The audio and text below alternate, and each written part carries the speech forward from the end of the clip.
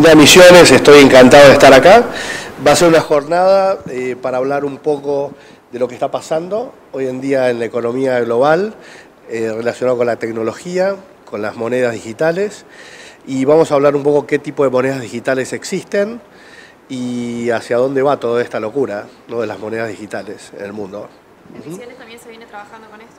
Sí, el equipo de Misiones es un equipo que ya hace varios meses eh, está pensando en, criptomonedas y en activos digitales y cómo puede esto beneficiar a la provincia, cómo puede esto beneficiar a los habitantes de, de Misiones y cuál es el impacto social que puede tener este proyecto.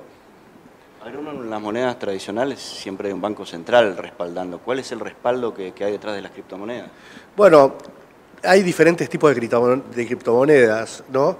Hay criptomonedas que no tienen respaldo, que el respaldo son las matemáticas, en el caso del Bitcoin, que es la más famosa, ¿no? Eh, hay eh, otras criptomonedas como el Ethereum, que es otra, eh, otro tipo de criptomoneda, que también el respaldo nuevamente son las matemáticas. Lo que está surgiendo en el mundo hoy es que cada uno de los bancos centrales más importantes del planeta están pensando en una criptomoneda. Y en este caso estamos hablando del banco, el banco, por ejemplo, Banco de Inglaterra, estamos hablando de Rusia, estamos hablando de China, estamos hablando de Estados Unidos, en el caso eh, de la Fed, del Tesoro americano también.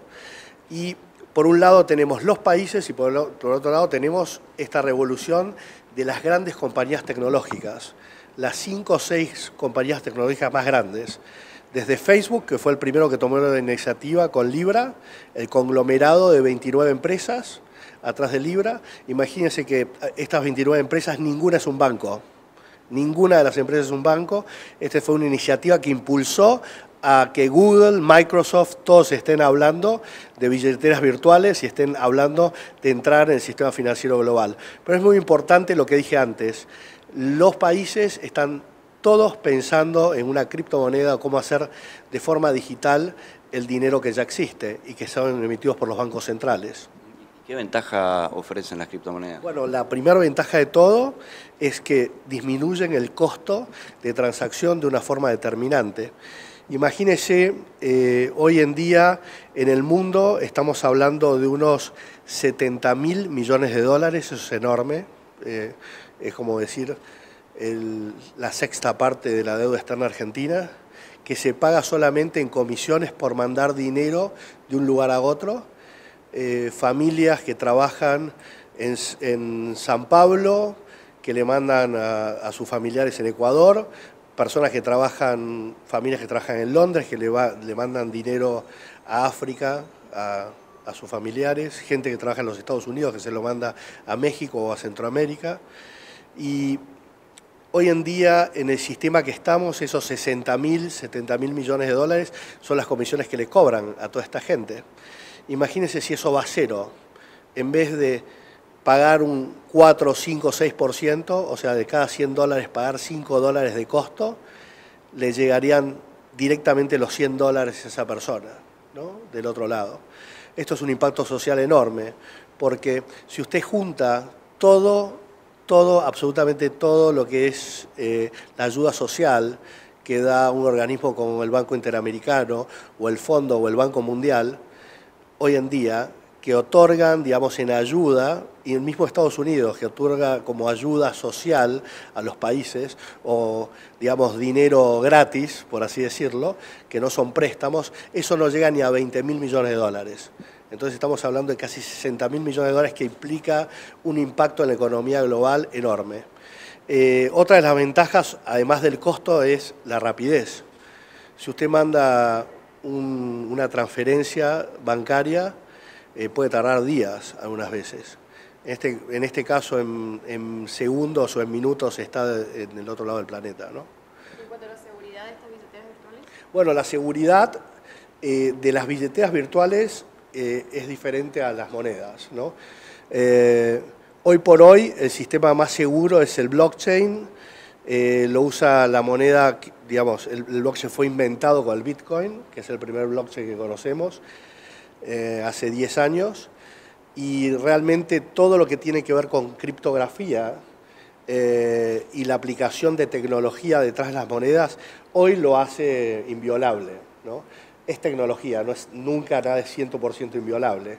De hecho, por un lado tenemos la criptografía y todo lo relacionado con el blockchain, y por el otro lado tenemos el desarrollo de computadoras sumamente eficientes, que son las, quantum computers, ¿no? las computadoras quantum, que mm, están avanzando los dos sistemas a, digamos, a, la misma velocidad, pero nada en tecnología es, es, seguro, pero hasta ahora es lo que tenemos. ¿no?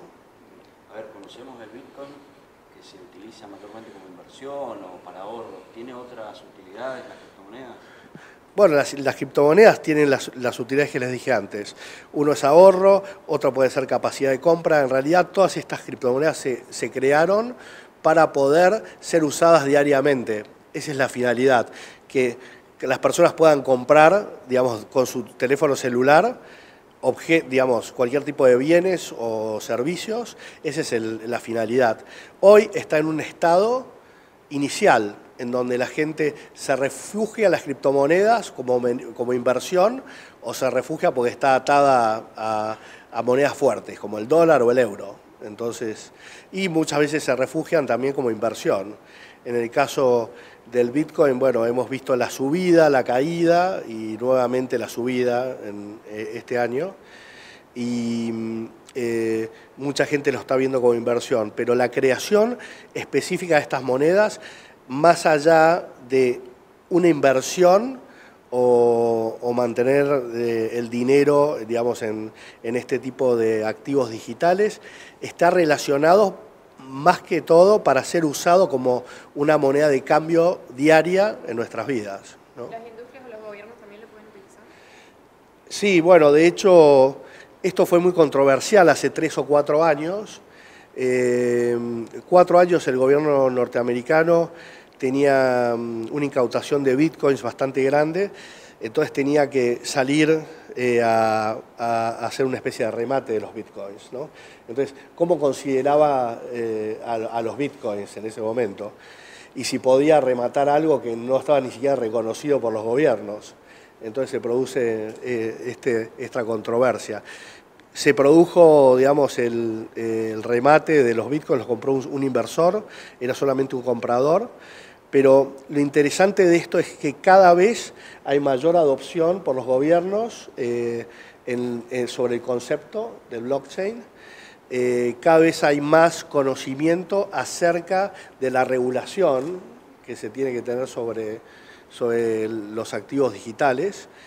Y esto está avanzando mucho más allá del Bitcoin o de las monedas estatales que se están emitiendo en el mundo. Esto está avanzando en algo que por ahí no se dan cuenta la gente, pero en todo lo que es las plataformas de los juegos. Eh, hay juegos en donde hay avatars, donde existe un banco central y donde se utilizan tarjetas de crédito y las personas pueden comprar desde eh, cualquier tipo de elemento digital que tiene un valor en, una vida virtual. Esta es una economía paralela que está surgiendo. Es el caso de, hay una red social, la red social que más ha crecido en el mundo en el último año y medio, se llama TikTok. TikTok lo usan entre personas entre 8 y 17 años. Eh, es interesante, el like que ustedes ponían antes en otra red social, que es la más conocida que Facebook, eh, TikTok lo empezó a monetizar. ¿Cómo? los participantes le pedían a sus padres la tarjeta de crédito, compran eh, una cantidad de medallitas, por así decirlo. Esas medallitas se las cuelga la persona en, su, en su perfil y puede elegir a quién le pone los likes con esas medallas. Pero esas medallas representan un valor eh, monetario. Pueden haber medallitas de un dólar, de cinco centavos, de de 30 centavos y hay gente que recibe de repente eh, millones de esas medallas o cientos de miles. Eso es una cripto. Y de eso, se trata, que hay que también regularlo, y los gobiernos obviamente están en este eh, desafío de cómo regular todos estos elementos nuevos que son nuevas economías, se llaman activos digitales. ¿En ¿Cómo se da el uso de la criptomoneda? En Misiones, bueno, eh, hay adopción básicamente de, bitcoins y, sobre todo bitcoins, que, es la moneda que más se conoce, pero bueno, esto está recién empezando, ¿no?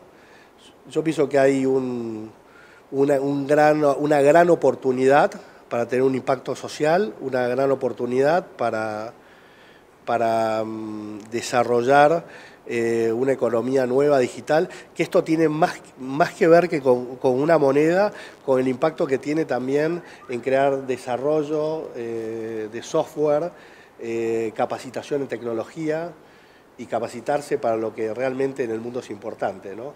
que es todo esto que se viene y tener a los jóvenes como una fuente de valor real. En cuanto a la regulación en nuestro país, ¿cuál es la validez de este tipo de? Bueno, en cuanto a la regulación, eh, hoy por hoy Argentina, la regulación que tiene, considera a los activos digitales como un derecho.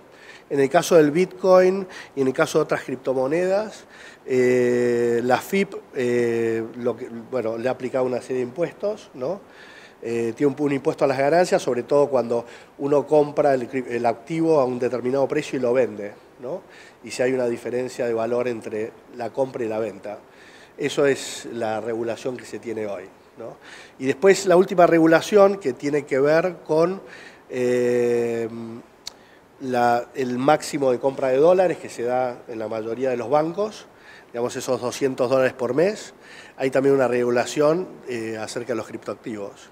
Estamos organizando entre varios organismos, eh, con la legislatura provincial, Ministerio de Hacienda, Fondo de Créditos, el Ministerio de Industria, el Porotic, eh, justamente tiene como objetivo, bueno, de alguna forma sensibilizar, desarrollar, difundir eh, toda esta información que hoy em, no, se, sabe mucho sobre el, funcionamiento, la regulación y cuál es la función de una criptomoneda. Entonces, bueno, Misiones está trabajando en este tema, ustedes saben, Misiones siempre hace punta en cuestiones de vanguardia, no es casualidad.